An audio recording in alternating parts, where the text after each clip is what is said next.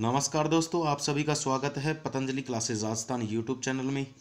आज हम part two पढ़ेंगे और पार्ट टू के अंदर भी तीस महत्वपूर्ण प्रश्नों का हम अध्ययन करने वाले हैं, जो कि राजस्थान के इतिहास से संबंध रखते हैं। ठीक है? तो पहला क्वेश्चन हम करते हैं, मोनोत नैनसी किसके दरबारी कवि थे? देखो, बहुत ही अच्छा प्रश्न है एग्ज़ाम में कई बार पूछा भी जा चुका है और आगे भी पूछा जाएगा। ठीक है तो मोनोत नैनसी किसके दरबारी कवि थे? जसवंत सिंह प्रथम, जसवंत सिंह द्वितीय, महाराजा अमर सिंह रावचंद्र सेन। सही ऑप्शन चार ऑप्शन आपके सामने है। पहला ऑप्शन इसका क्या होगा? बिल्कुल सही होगा। ठीक है, ये वही जसवंत सिंह है जिन्होंने धर्मत के युद्ध में दारा सिखों के साथ शाही सेना का क्या किया था? नेतृत्व किया था। बात क्लियर हो गई।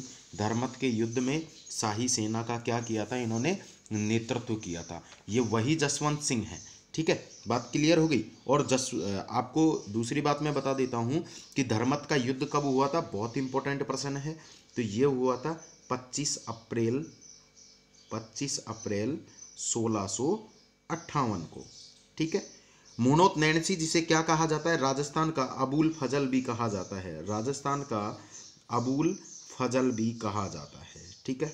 इन्होंने दो ग्रंथ लिखे थे। एक तो विगत लिखी थी मारवाड़ के मारवाड़ के परगनारी विगत, और ये वही मोनोत नैणसी हैं, जिन्होंने दूसरा लिखा था, मोनोत नैणसी री ख्यात।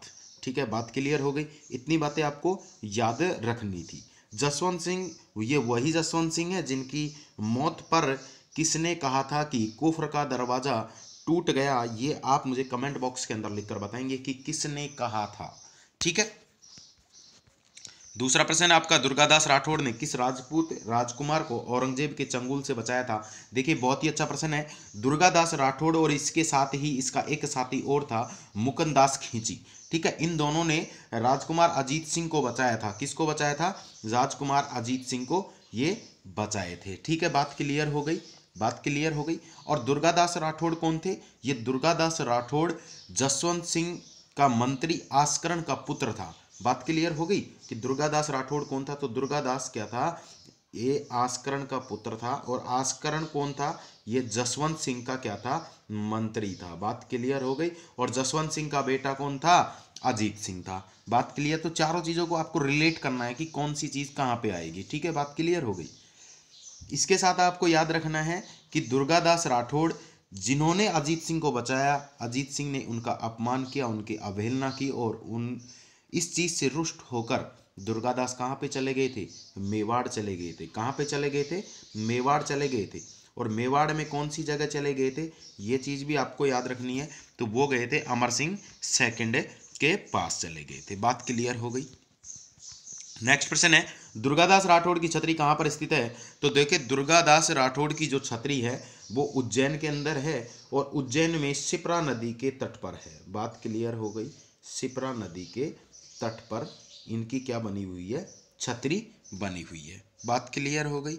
नेक्स्ट प्रश्न पे चलते हैं बीकानेर के किस राजपूत शासक को राजपूताने का करण कहा गया? किसे कहा जाता है राजपूताने का करण? तो वो कहा जाता है राय सिंह को। किसको कहा जाता है? राय सिंह को। ऑप्शन सी इसका सही आंसर होगा। राइट आंसर क्या होगा? ऑप्शन सी इसका सही आंसर होगा।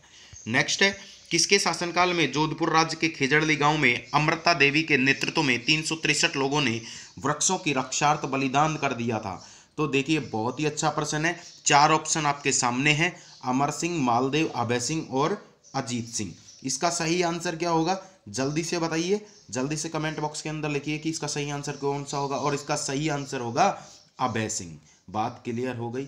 और यहाँ पे क्या किया? अमृता देवी अमृता देवी के नेतृत्व में तीन लोगों ने वृक्षों पर लिपट कर अपनी जान दे दी। और एकमात्र जो वृक्ष मेला आयोजित किया जाता है, वो खेजड़ली जोधपुर के अंदर ही आयोजित किया जाता है। ये बात भी आपको याद रखनी है।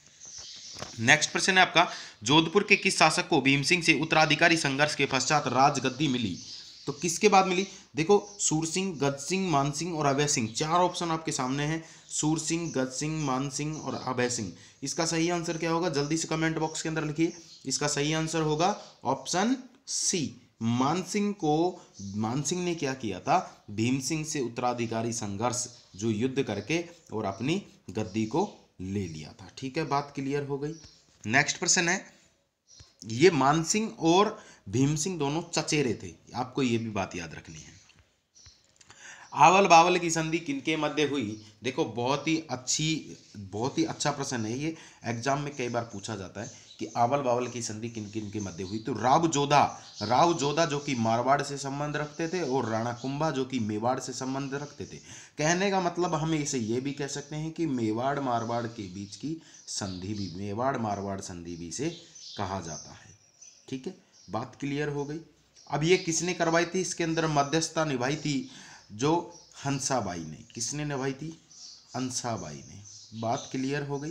हंसाबाई ने ही, अब जो एक चीज़ आपको याद रखनी है कि राव जोधा, इसका पिता था रणमल। कौन था? रणमल। रणमल इसके पिताजी का नाम था। बात क्लियर हो गई। ठीक है? नेक्स्ट बात। राव जोधा का राज्यभिषेक कब किया गया? ऑप्शन चार आपके सामने, चौदह सौ अड़तीस, चौदह चौदह और चौदह ईस्वी में कब किया गया? तो ये सही आंसर क्या होगा इसका? सही आंसर होगा इसका ऑप्शन सी, इसका राइट आंसर होगा। चौदह अट्ठावन में राव जोधा का क्या किया गया था? राज्यभिषेक किया गया था, ठीक है? नेक्स्ट प्रश्न क्या है आपका? राव जोधा ने अपनी किस पुत्री का विवाह मेवाड़ के शासक राणा कुंभा के पुत्र से किया था। देखिए कौन सी थी वो राजकुमारी? वो राजकुमारी थी श्रृंगार देवी। बात क्लियर हो गई। अब यहाँ पे राणा कुंभा का नाम आया तो दो बातें हम राणा कुंभा के बारे में भी जा, जानेंगे। वैसे तो राणा कुंभा के बारे में बहुत बातें हैं ठीक है?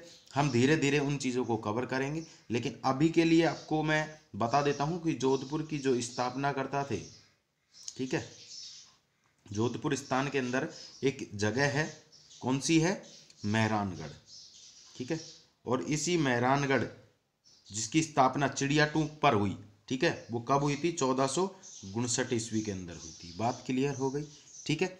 तो राज, राव जोधा ने, राव जोधा ने क्या किया था कि ये जोधपुर नगर बसाया चौदह सौ के अंदर, और वो कहाँ पे? मेहरानगढ़ दुर्ग का निर्माण करके इन्होंने जोधपुर को बसा दिया। राव जोधा ने। बात क्लियर हो गई। आगे देखे, रानीसर तालाब किसके द्वारा बनाया गया? ऑप्शन ए है सोनगरी जानी चांदकुरी द्वारा। दूसरा ऑप्शन है आपके सामने हाडी रानी जसमा देवी द्वारा। तीसरा ऑप्शन है रानी किशोरी देवी द्वारा। और चौथा ऑप्शन है रानी पार्वती द्वारा। सही आंसर क्या होगा इसका? सही आंसर होगा इसका ऑप्शन नंबर बी। ये हाडी रानी जसमा देवी द्वारा। अब हाडी रानी जसमा देवी कौन थी? तो ये कौन थी? जोधा की पत्नी थी। राव जोधा की क्या थी? पत्नी थी। बात क्लियर हो गई। इनकी क्या थी? पत्नी थी। नेक्स्ट प्रश्न है आपका। अजमेर के हाकिम मल्लू खा के सेनापति गुडले खां ने किसके शासन काल में एक या चालीस कुमारी कन्याओं का अपहरण किया? ठीक है? तो किसने किया था? तो ये बात तो आपको क्लियर हो गई कि किसने किया था। तो ये किया था हाकिम मल्लू खा के सेनापति गुडले खां ने। ये बात आपको क्लियर हो गई। गुडले खां ने क्या किया था? कंवारी कन्याओं का अपहरण कर लिया था। अब वो किसके शासनकाल में किया था? तो वो समय शासनकाल थे सातल का। किसका था? सातल कहो या फिर सातल सालदेव कहो बात एक ही है, ठीक है? और इसी उपलक्ष्य में आज भी मारवाड़ के अंदर क्या मनाया जाता है? एक गुड़ला त्योहार मनाया जाता है। बात क्लियर हो गई? गुड़ला त्योहार मनाया जाता है, ठीक है? नेक्स्ट प्रश्न है खानवा के युद्ध में राणा सांगा की सहायता किस मारवाड़ शासक द्वारा की गई थी? देखो, राव गागा, राव दूधा, राव सूजा, राव मालदेव, चार ऑप्शन आपके सामने हैं, ठीक है? तो राव मालदेव तो वैसे ही कट जाएगा यहाँ से, क्योंकि ऑप्शन सही कौन सा होगा? ए राव गागा ने हेल्प की थी, लेकिन करने कौन गया था? युद्ध के अंदर कौन गया था? राव मालदेव गया था। अब राव मालदेव और राग और गंगा का जो संबंध है, वो क्या है? पिता पुत्र का है, ठीक है? कौन सा है? ये इसके पुत्र थे, राव गागा के पुत्र थे राव मालदेव। बात क्लियर हो गई, जिसे क्या कहा जाता है? हसमत वाला शासक कहा जाता है। नेक्स्ट है, मारवाड़ के शासक मालदेव का राज्य अभिषेक किस स्थान पर हुआ? देखो, बहुत ही अच्छा प्रश्न है। बहुत ही अच्छा प्रश्न है कि मारवाड़ के शासक, मारवाड़ के शासक मालदेव का राज्य अभिषेक कहाँ पे हुआ था? देखो, कहाँ पे हुआ था? तो सोजत के अंदर हुआ था, क्योंकि उस वक्त उस वक्त जोधपुर के हालात ठीक नहीं थे। इसी वजह से आपका सोजत के अंदर इसका ऑप्शन सही होगा। सोजत के अंदर इसका राज्य अभिषेक हुआ था। बात क्लियर हो गई? नेक्स्ट प्रश्न किस इतिहासकार ने मालदेव को भारत का महान पुरुषार्थी राजकुमार कहा था। देखो, बहुत ही अच्छा प्रश्न है। मालदेव को महान पुरुषार्थी राजकुमार किसने कहा था? तो यह बात आपको सभी को पता है। किसने कहा था? तो ऑप्शन चार आपके सामने है। सही आंसर आपको क्लिक करना है। कौन सा करना है आपको? ऑप्शन सी बदायूनी इसका राइट आंसर है। क्वेश्चन नंबर पंद्रह। मारवाड़ के शासक मालदेव नागौर के किस शासक को पराजित कर, उस पर अधिकार कर लिया? देखिए, नागौर के अंदर और जालोर के अंदर। दो बातें आपको याद रखनी है इनके बारे में, कि जो नागौर के अंदर किया था, वो दौलत खान को हरा कर किया था। बात क्लियर हो गई। और जालोर के अंदर सिकंदर खान को हरा कर किया था। ठीक है? बात क्लियर हो गई। इसके अलावा मालदेव का एक, जालोर का शासक था वीरम वीरम देव जिन्होंने शेर शाह सूरी की भी क्या की थी? मदद की थी गिरी सुमेल के युद्ध में। याद करना है, आपको इन चीज़ों को रिलेट करनी है कि शेर शाह युद्ध, शेर शाह सूरी की इन्होंने क्या की थी? मदद की थी। तो वीरम देव और सिकंदर खान दोनों ही इनके क्या थे? बहुत ही ज़्यादा कट्टर दुश्मन थे। नेक्स्ट प्रश्न आएगा आपका। जालोर के किस शासक को पराजित कर जालोर पर अधिकार कर लिया? तो बात क्लियर हो गई, सिकंदर खान। ठीक है? नेक्स्ट प्रश्न है आपका। मारवाड़ रियासत का सर्वाधिक विस्तार किस शासक के शासनकाल में हुआ था? तो देखो, बहुत ही अच्छा प्रश्न है। किस के शासनकाल में सर्वाधिक विस्तार हुआ था? तो ऑप्शन इसके चार आपके सामने हैं। राव रणमल, राव जोधा, राव जसवंत सिंह और राव मालदेव। राइट आंसर क्या होगा? राइट आंसर होगा इसका मालदेव। राव राइट आंसर क्या होगा? मालदेव होगा। चारण कवियों ने मारवाड़ के किस शासक को हिंदू बादशाह के नाम से संबोधित किया? देखिए, बहुत ही अच्छा प्रश्न है। तो हिंदू बादशाह के नाम से संबोधित होने वाला कौन था? तो ये होगा मालदेव। इसका सही आंसर क्या होगा? Maldev. Right option right option C बात क्लियर हो गई, ठीक है? तो चारण कवियों ने मारवाड़ के किस शासक को हिंदू बादशाह के नाम से संबोधित किया था? तो राव मालदेव को किया था। नेक्स्ट प्रश्न है, रावचंद्र सेन की मृत्यु किस स्थान पर हुई? ठीक है? इसका कहने का मतलब ये एरर है, इस जगह लिखा हुआ है, किस स्थान पर हुई। किस स्थान पर हुई है? तो ये हुआ था भादराजून, सचियाई, मालकोट, गुरोज। तो ये तो जंगल के अंदर जब गया था तो भादराजून की पहाड़ियों के अंदर छुपा था जाके। लेकिन ये गया कहाँ था? मृत्यु कहाँ पे हुई? लास्ट में इनकी। तो सचियाई के अंदर इसकी मृत्यु हो गई थी। नेक्स्ट प्रश्न है रावचंद्र सिंह से संबंधित नहीं है। हसमत वाला शासक, प्रताप का अग्रमा अग्रगामी, भूला बिसरा राजा, और इनमें से कोई नहीं। तो ऑप्शन इसका सही क्या होगा? देखिए, बहुत ही अच्छा प्रश्न है, बहुत ही अच्छा प्रश्न है कि रावचंद्र सेन से संबंधित नहीं है। देखो, प्रताप का अग्रगामी भी रावचंद्र सेन को कहा जाता है, भूला बिसरा राजा भी से कहा जाता है। इसके अलावा इसे एक नाम और दिया जाता है, मारवाड़ का प्रताप। क्या कहा जाता है? मारवाड़ का प्रताप। और हसमत वाला शासक ये किसे कहा जाता है? ये इन्हें नहीं कहा जाता। ठीक है? बात क्लियर होगी? नेक्स्ट नेक्स्ट है आपका। किसे कहा जाता है? मालदेव को कहा जाता है हसमत वाला शासक। किशनगढ़ राज्य का संस्थापक किशन सिंह किस मारवाड़ शासक का पुत्र था? तो किसका पुत्र था? मोटा राजा उदय सिंह का ये पुत्र था। बात क्लियर हो गई? मोटा राजा उदय सिंह का ये पुत्र था। नेक्स्ट प्रश्न है मतिरे की राड कब हुई? तो मतिरे की राड कब हुई? देखो, बहुत ही अच्छा प्रश्न है, बहुत ही अच्छा प्रश्न है। तो सोलह इसका राइट आंसर होगा।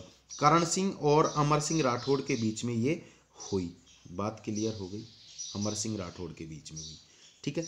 और जो अमर सिंह राठौड़ के बीच में हुई थी, वो गाँव कौन सा था? नागौर का। तो वो गाँव था आपका खीलवा। कौन सा गाँव था? खीलवा गाँव। बात क्लियर हो गई तो मतिरे की राड से आपसे इतना ही याद रखना। करण सिंह और अमर सिंह राठौड़ के मध्य में हुआ। खिलवा गाँव के अंदर युद्ध हुआ और कहा जाता है कि एक मतिरे के ऊपर ये लड़ाई युद्ध हो गया था। ठीक है तो सोलह की बात है। क्लियर हो गया? नेक्स्ट प्रश्न है आपका। धर्मत युद्ध के बाद औरंगज़ेब ने धर्मत का नाम क्या कर दिया? देखो, एक चीज़ मैंने आपको बता दिया कि धर्मत का युद्ध कब हुआ था? तो 25 अप्रैल सोलह के अंदर हुआ था दारा सिको और औरंगज़ेब के मध्य। और जो ये धर्मत का युद्ध था। ठीक है? ये धर्मत का युद्ध था, ये कब हुआ था? तो ये ये आपको याद रखना है कि सोलह के अंदर तो हुआ ही हुआ था, ठीक है? धर्मत का युद्ध क्या था? एक उत्तराधिकारी युद्ध था ये। उत्तराधिकार के लिए लड़ा गया था, ठीक है? बात क्लियर हो गई। जिसके अंदर जसवंत सिंह प्रथम ने अपनी अहम भूमिका निभाई थी, ये भी आपको याद रखना है, ठीक है? तो इसके बाद में, धर्मत युद्ध के बाद में औरंगज़ेब ने धर्मत का नाम क्या कर दिया गया? फतेहबाद कर दिया गया। क्या कर दिया गया था? फतेहाबाद कर दिया गया था। नेक्स्ट आपको क्या याद रखना है? जसवंत सिंह का राज तिलक किस स्थान पर किया गया? देखो, जसवंत सिंह का राज तिलक किस स्थान पर किया गया? आगरा के अंदर किया गया था। कहाँ पे किया गया था बेटा?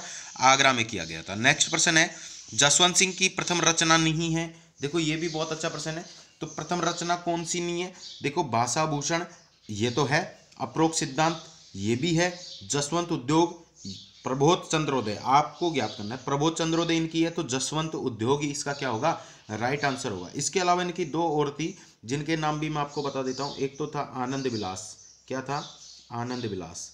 एक तो थी आनंद विलास और एक था अनुभव प्रकाश। ये भी इन्हीं की रचना थी। ठीक है? नेक्स्ट प्रश्न पे चलते हैं। नेक्स्ट प्रश्न क्या है आपका? जसवंत सिंह की छतरी कहाँ पे बनी हुई है? देखो, ये भी बहुत ही अच्छा प्रश्न है। जसवंत सिंह की छतरी कहाँ बनी हुई है? तो मंडो आगरा के अंदर ही इनकी क्या बनी हुई है? छतरी बनी हुई है। ऑप्शन नंबर डी इसका राइट आंसर होगा। चलिए नेक्स्ट प्रश्न। जसवंत सिंह के निधन के बाद राजकुमार अजीत सिंह का जन्म कहाँ हुआ था? तो कहाँ हुआ था? देखो, जमरूद, आगरा, औरंगाबाद, लाहौर। चार ऑप्शन आपके सामने हैं। सही ऑप्शन क्या होगा इसका? लाहौर इसका राइट आंसर होगा। Option number D is right ठीक है? नेक्स्ट प्रश्न। मारवाड़ के शासक जसवंत सिंह के पुत्र राजकुमार अजीत सिंह को मारवाड़ के शासक के रूप में मान्यता किस मुगल बादशाह द्वारा दी गई? देखो, बहुत ही अच्छा प्रश्न है।